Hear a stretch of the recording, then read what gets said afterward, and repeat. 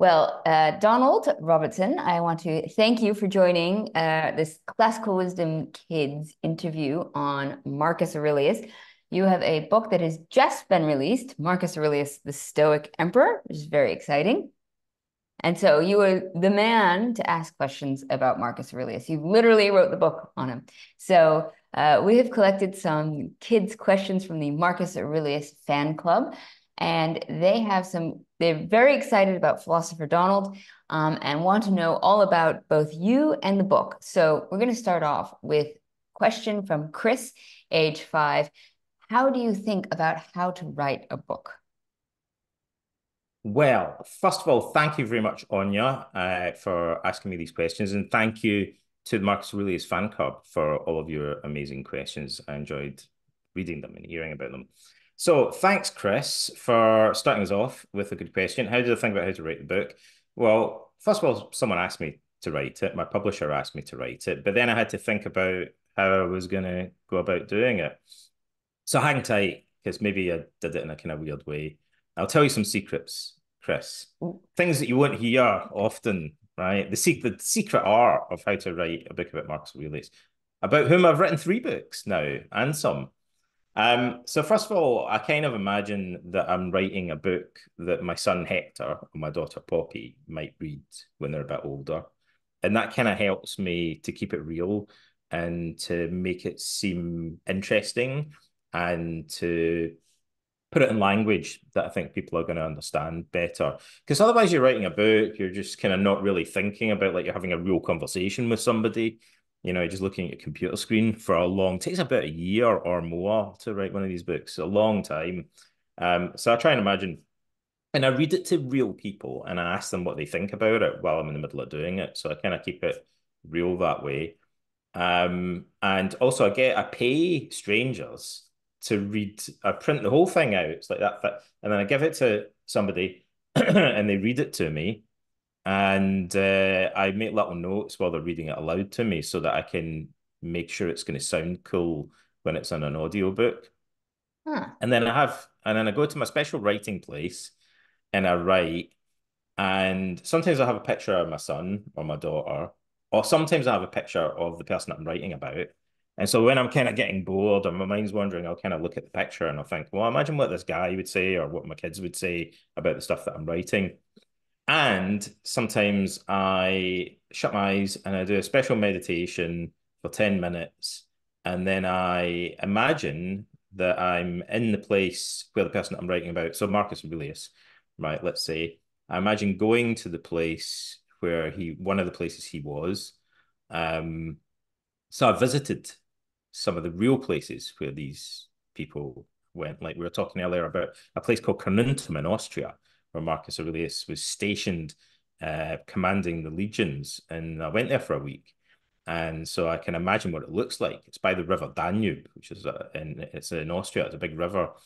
And I imagine that I'm talking to him. So I kind of visualize it in my mind's eye for 10 minutes and ask him questions and uh, and say, hey, what how am I supposed to make sense out of this thing that you did? Like, and I try and imagine what he would say, and that's how I go about writing the book. Do you have like a special writing room that has to be separate from like or set up for where you write specifically? Ideally, although at the moment, uh, it's like I'm sitting in it right now, and it's now a nursery, and it's all painted baby blue, and it's got all Hector stuff in it like, so I just have to pretend that it's still my office. Sometimes I'll go to the library and I'll sit in the public library all day long um, for a long, long time, for many, many days, and just sitting there and work. Um, yeah, that helps. It's, it's nice having a space. Um, so our next question comes from Tom Brady, uh, who is age six, and his but his birthday is not very far off, so almost seven. That's very important. Um, Philosopher Donald, what day does your book come out? How did you write your book? And how did you feel when you wrote the book? Maybe he's already seven. Like, because he maybe he asked this question, or he's seven very soon. Well, happy birthday when it comes to Tom Brady. My new book came out on the 6th of February. So when we're recording this, it's a few days after that in the US and Canada, but it won't come out until the 26th of March in the UK. So it comes out on different days. Um, the 6th of February was a Tuesday, which is named after Tyr, the Germanic god of war. Incidentally, it's a bit of trivia for you, which is appropriate because Marcus's name comes from Mars, which is the Roman god of war. So here, this guy, Marcus, named after the Roman god of war, Mars, the book about him comes out on Tuesday, which is named after the Germanic god of war. So and, there you in, go. In Spanish, for you. in Spanish, Tuesday yeah. is Martes. Oh, really? Yeah. There you go. War day. Yep. Right? All of the all of the words. Uh, Wednesday is miércoles after Mercury. Monday is lunes. Um, the moon. Uh, jueves, Jupiter is Thursday. Viernes, Venus. This Friday, is there. stuff that all kids. I feel like all kids should know. Sábado, this. Saturday, Saturn. Yeah. Everyone should. I feel like everyone should know this. We could uh, we, one day we'll have a thing where we just go on about like etymology. Etymology is much cooler than people realize. So I'll tell cool. you, can I tell you? Yeah. I'll tell you my two. I'll tell you my three favorite words. Right. This is a complete digression. Right. Do you know what hippopotamus means? A hippo is Greek for horse, right? Anya's way ahead of me. Hippo. But uh, like, what does potamus mean? Right. It means river. So hippopotamus literally just means river horse in Greek. How cool is that? Right? And tragedy means song about a goat in Greek. Hmm. And world is Anglo Saxon and it comes from were ald, and the were part is the same as werewolf, which means man wolf. So were means man, and ald means old. So world means old man. Cool. I like it. I told you etymology was really cool, right? Yeah. I like that yeah. in ancient Greece, they used to name people like later when they were older based on their interests and things that they liked doing. And yeah. so Philip, Phil is love and Ip is yeah. the horse. So Philip is just somebody who likes horses. Yeah. And Phil Hippopotamus would be somebody that loves river, river horses. horses. Yeah, just to say, I think, lover. I think this would be a fun yeah. game. Like if you were to do this naming tradition now, what would you name yourself based on what you like doing? Yeah, that would be a cool game. Yeah. Okay, so next question. So oh, I was going to say he didn't he? He had oh. another part to his oh, question, oh, yes, which yes, was. What was it? I don't want to uh, shock How did you feel? John Brady. No, no, no. How did you uh, feel when you wrote your book? Yeah, I like well, uh, I felt very grateful um, when I was writing it. Honestly, I think most of the time I felt very grateful because I felt very grateful that I was able to sit in a library, believe it or not, or in a nice warm house. And because my window looks outside and it's snowing and there's blizzards and stuff uh, recently. Um, and so I, I, a lot of time I'm like, I'm just really grateful that I get to work inside and write my book. And it's like I'm doing my hobby for a living. That's a pretty sweet, that's a sweet spot. If you can wangle it so that you get to do your hobby for your living, like like Anya, like that's pretty. Then you're then you're like then you're laughing. Like so, I'm very grateful I get to do my hobby for my living, and I don't have to work outside in the snow. I like that. There's that Venn diagram of what you should be doing, and it's like things that you like doing, things that you're good at, mm-hmm. things mm-hmm. that have meaning and are helpful mm-hmm. in the mm-hmm. world, and then things you get paid for. So you want to find something that combines all of those if possible. It takes a bit of effort to combine all of those, but if you can do it, then that's great. And also Venn diagrams are really cool. Yep. Like they can be useful. Very useful. Okay, so next question is from Blue Power Ranger, age five, the Marcus Aurelius fan club's Gleneth's Water Bucket Boy. There you go. Um, he says, Philosopher Donald, what's your favorite color? What's your favorite food? And what's the, your favorite thing in the whole world? That's a three-parter. Okay, so thank you very much, uh, Blue Power Ranger. It's the Cleanthes Water Bucket Boy. And my favorite color is just blue because that's the color of my eyes. That's my Viking ancestry coming through. And uh, I think the most stoic color is purple, though, because that was the color of kings and emperor robes. And Zeno was a Phoenician merchant. The Phoenician people made their living mainly by selling this dye, and they made it by squashing sea snails and rotting them and then picking out bits. It was the most disgusting job, smelliest job in the ancient world. and you could only get a tiny, tiny amount at a time. So it was very, very, very expensive. Uh, Tyrian purple or imperial purple dye. Um, so this became very symbolic because Zeno got very rich selling this.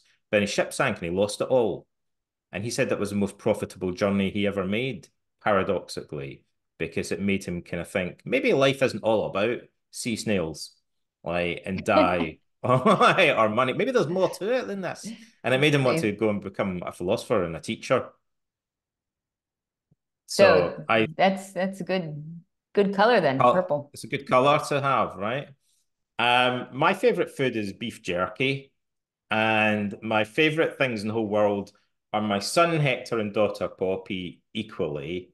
Uh, but I also like my wife and my cat, and uh, those are some of my favorite uh, things. And if I'm going to be totally honest, like my favorite object, because I'm I'm I I kind of grew up in the 1970s and playing in the woods and outdoors and stuff like that. Like my actual favorite thing is my penknife. Like I have this Opinel, it's a French penknife. Like so, it's a bit of a boy, boyish thing, like Boy Scout type thing. Like, and I kind of, I kind of love it because it's a perfectly designed. It's a masterpiece of design. Like, so that's something you could get your dad for Christmas or whatever, maybe one day. Like, have you ever seen Opinel knives on you? Well, you know, I was going to say when I was a kid, I loved Swiss Army knives, and I always had a bunch of different cool Swiss Army knives. And then, you know, yeah. the problem was is that I always traveled around a lot, and there was a, like mm-hmm. a moment in history before when you could travel with the Swiss Army knife, and they were very practical things to have because they always had, you know, screws and little things that you could yeah. use, and tweezers and scissors, and it was so handy when you were traveling. And then they, they became the thing that every TSA agent would like rip apart and throw away. And then, you know, that that really yeah, destroyed the Swiss Army knife industry, I think. Spoiled everything. Like you can't even take your pen knife in the plane anymore. Like, well, that's I have I have different I have a collection of kitchen knives in different countries that visit. Well, my second, my other favorite thing is just kitchen knife. Maybe I like I like knives in general. I like I like my kitchen knives. I have to have good kitchen knives because I cook a lot. Well, down here in Argentina, they have really beautiful knives that yeah, they make out in the in the in the mountains. They have like people from forging from scratch still these like beautiful, beautiful knives. Um, our previous managing editor, Kristen, she her her husband live out in Patagonia making those uh-huh. knives. Uh-huh. So I need to now I know what to get you for your birthday. Yeah, for my collection. Okay, next question from Yaya or Yaja, uh, age six. Thank you for writing the book. Well, you're welcome. Thank you, Yaya, for thanking me. Yaya means granny in Greek. But I don't know if this is a real name or a nickname, or maybe it's an actual Yaya. But six seems very young to be Yaya. 60 would be more appropriate for a Greek Yaya. But thank you for thanking me, Yaya. You're, and you're very much, you're very welcome. Okay, next question is from Blue Beagle, age five. I think these are all um, creative names. Uh, what do you think about writing a number four book on Marcus Aurelius? Yeah. What about a number 10? Well, what about the ones in between? Like I, well, I've always too late because I wrote three in a bit books. I wrote a bit of another book and I edited another book. So I kind of wrote three in a bit books. And and then I was like, I need to write something else. So I've already written another book. Shh, don't tell us. It's not a secret actually, because it's online now, but we haven't properly announced. I haven't officially announced it, but people have found it. Like, and it's called How to Think Like Socrates, and it's about Socrates. So I I like I kind of run out of things to say about Marcus for now. Maybe I'll write more about him in the future. But Socrates is a much more complicated person and he there's much more to say about him. That means it's harder. I think it was like about four times harder writing a book about Socrates as it was writing about Marcus Aurelius. Um, and annoying, just to make things worse on you, this is an on you thing, right? Just but for everybody as well. Like, so my thing is to try and write about philosophers, but also to write about their lives and what was going on around them, right? Now, just to, Socrates is a very complex character. He says lots of complicated things, right? But just to make it even harder for me, he lived during an event known as the Peloponnesian War, which went on for 27 years and is one of the most complicated and tricky to explain wars in history. Because rather than being between two countries, it's between lots of different cities in and Greece. alliances and such. And they keep and then they changing go to sides. what It's like, ah. There, and then then even Sicily, yeah, and. Alcibiades, and people with names that are hard to pronounce. So it was quite hard to make it interesting and, and keep it fairly simple. But I think we managed to make it simple enough that we can talk about Socrates being in the fighting and stuff in the middle of all this and talking about philosophy. Um, and it doesn't get too like complicated. But we might need some diagrams and maps because a lot happens in the Peloponnesian War. We should set up, you should talk with Robin Waterfield because last I was talking Yeah. to him and he was like, I'm not entirely sure Socrates existed. That's he did he is that what he said? He said I think he existed, but um all the We don't all the know. Yeah, we don't know which version of him is a real Yeah. version. Now we He's- we will, we we could digress though. We should we should stay on task with Marcus Aurelius Let's because right, stick to Marcus Aurelius for now. he's he's sufficient. Um, okay, so this this question um it kind of follows up from the last one. So this one's from Finn, the Marcus Uh-huh. Aurelius fan club Diogenes representative. Why are you writing another book about Marcus Aurelius? I often ask myself that question. Uh, Finn, although it's in, I did, I've written it, it's in the past now, I've written it because publishing is confusing because it takes like a year to write a book and then it, it might be like another six months before it actually comes out. And by the time it comes out and you have to talk to lots of people about it because your book's just come out, you're probably in the middle of writing another book. Or in my case, I've already finished writing another book. So it kind of like gets a little bit confusing sometimes because the publisher asked me to do it and I said yes because they asked me nicely. And there are other biographies about Marcus Aurelius, but I didn't think they were as much fun as they could have been. So I decided to write one that I would have wanted to have read when I was 17. So the other thing that helps me write books, in addition to imagining that my kids are going to read it when they're older, is I imagine, like Doctor Who, I could go back in time and show the book to you, for some reason, usually my 17 year old self. Because when I was 17, I was first beginning to get into philosophy and stuff. But I lived. Do you remember when? Anya, do you remember when everything was made of wood? Right in, the nineteen seventies. Right. So when I was, you're not as old. Maybe you're not as old as me. Like so, I I imagine going back when I was a kid, we didn't have the internet, right? And so I had to go and buy actual books, like and I could never find there weren't that, many on philosophy that I could find. It was hard to find. I didn't know what books existed. And the library was quite small in my town. So um, I loved books on philosophy, but I couldn't get many. Uh, strangely, now you can get any you want on the internet. I, I was desperate to find books. And so if I could go back in time to my 17-year-old self where I was like desperately looking for more books on philosophy and go, hey, I wrote this book about Marcus Aurelius, I kind of imagine like writing it in a way that my 17-year-old self would have found interesting. That's that's a great, great response. Great answer. Um, I'm gonna one second.